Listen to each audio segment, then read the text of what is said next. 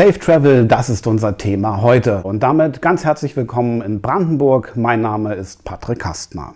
Ja, Weite, frische Luft und Abstand, sie haben ja seit geraumer Zeit eine ganz neue und sehr wertvolle Bedeutung bekommen. Und in Brandenburg gibt es davon jede Menge. So auch im Ruppiner Seenland, das unzählige Aktivitäten auf dem Wasser und an Land bietet. Hier geht es jetzt um Hausbooturlaub und Ausflüge mit Huskies, mit richtigen, echten, quicklebendigen Schlittenhunden bei mit und ohne Schnee.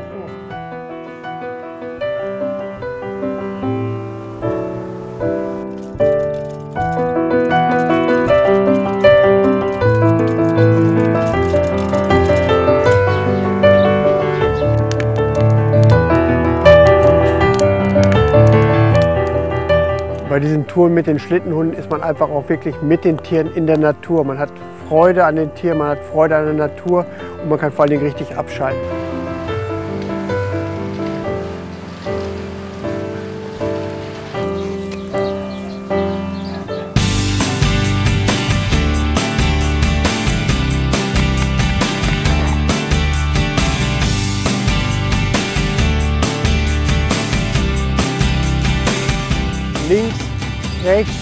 Geradeaus. Die Gäste sollen einfach selbstständig lernen, bei uns ein Gespann zu führen. Wir leiten das zwar an, wir gucken auch mit hin, aber letztendlich sollen sie ihre eigene Erfahrung mit ihrem Schlittenhundeteam bei uns sammeln und mit den Hunden selbst umgehen. Sondern dass die Gäste ganz dicht an die Hunde rankommen, dass sie sie anfassen können, dass sie die Geschirre selbst anlegen, dass man wirklich sein eigenes Team steuert, dass man es führt. Das spürt man relativ schnell, dass die Hunde auf einen reagieren. Und das macht es, glaube ich, aus, dass man spürt, dass die Hunde einen wahrnehmen, dass sie auf die Kommandos hören, dass man wirklich zum Schlittenhundeteam mit dazu gehört und dass man nicht irgendein Fremdkörper ist, der durch den Wald geschliffen wird.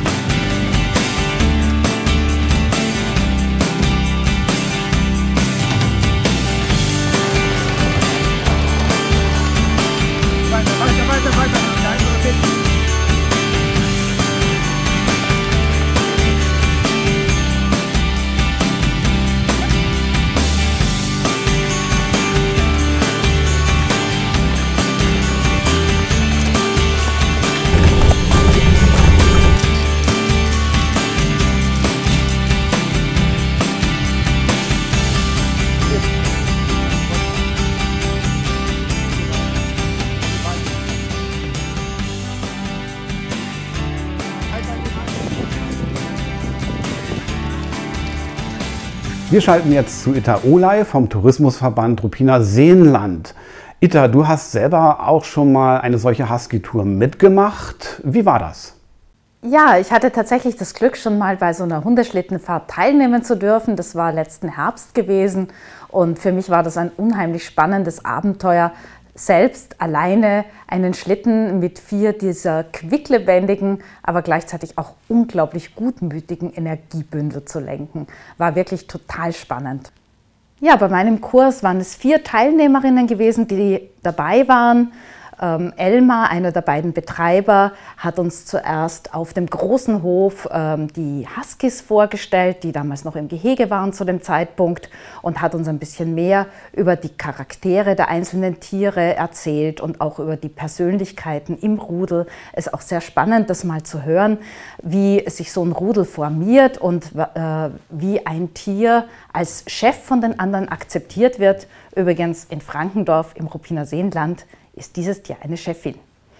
Nachdem wir mehr über die Tiere erfahren haben, mussten wir uns dann natürlich auch mit dem technischen Gerät, sprich mit dem Schlitten vertraut machen. Und Elmar hat uns erklärt, wie das mit dem Lenken und dem Bremsen funktioniert, wie das mit den Kommandos klappt und auch wie man die Feststellbremse betätigt. Denn wenn man mal kurz vom Schlitten absteigen möchte, geballte Power von vier Hunden, da reicht die einfache Bremse nicht aus, da muss man den Schlitten schon richtig gut sichern.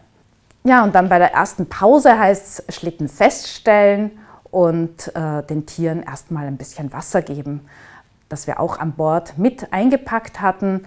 Und dann haben die Tiere sich auch schon ein klein wenig ausgetobt und man kann die ersten Streicheleinheiten zusammen mit dem Lob für die bisherige Fahrt verteilen.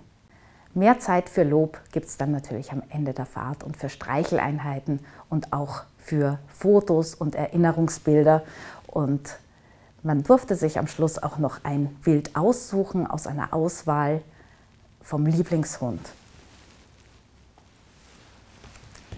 Mein Lieblingshund in meinem Gespann, das war Bente, das Tier, das meiner Meinung nach die meiste Arbeit gemacht hat, um mich hier durch die Landschaft zu ziehen. Und Bente hängt seitdem auch über meinen Schreibtisch im Büro. Ita, das ist wirklich sehr beeindruckend. Und äh, das Rubiner Seenland ist ja auch ein richtiges Wasserparadies, oder? Ja, Patrick, das können wir tatsächlich von uns behaupten. Wir haben das große Glück, dass wir nicht nur wunderbare Seen haben zum Baden und für andere Wassersportaktivitäten, sondern die meisten von diesen Seen, die sind auch noch durch Flüsse oder Kanäle miteinander verbunden. Und das bedeutet, dass unsere Gäste bei uns zum Beispiel mit dem Kanu fast das ganze Ruppiner Seenland auch vom Wasser aus erkunden können. Aber unsere Gäste können auch direkt auf dem Wasser Quartier beziehen. Sie können ein Boot mieten, das für die nächsten Tage oder Wochen ihr schwimmendes Zuhause ist. Denn Urlaub auf so einem Hausboot ist natürlich gerade für Familien ein ganz besonderes Erlebnis. Ein Erlebnis, das auch eine Familie richtig zusammenschweißt. Denn bei Schleusenmanövern oder bei Anlegemanövern, da sind alle Hände gefragt, da ist wirklich Teamwork auf dem Plan. Auf der anderen Seite heißt natürlich auch, alles kann, nichts muss, ganz entspannt natürlich im Urlaub. Man kann zum Beispiel Stationen machen beim Ziegeleipark Mildenberg, einem bedeutenden Industriekulturdenkmal im Ruppiner Seenland, wo es aber auch ganz viele Abenteuer- und Spielmöglichkeiten für Kinder gibt.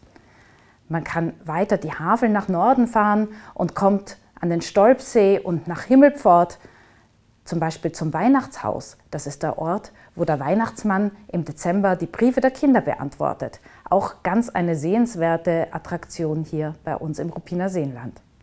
Einer unserer Anbieter, Peter Schmidt von der Botschaft in Zedenick, hat uns ein Video zur Verfügung gestellt. Wir nehmen euch jetzt mit auf die Reise von Zedenick aus, die Havel nach Norden. Und ich sage jetzt Leinen los und auf geht die Fahrt durch die Brandenburgische Seenplatte.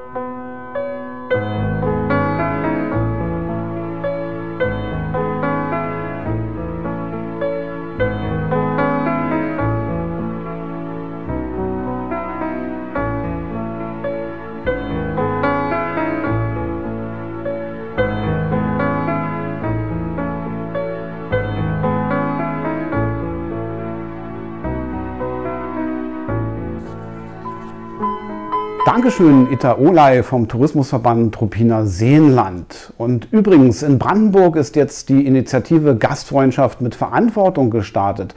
Brandenburgs Tourismusbranche bereitet sich auf die Zeit vor, in der das Reisen wieder möglich ist. Weitere Infos dazu findet ihr unter www.gastfreundschaft-verantwortung.de.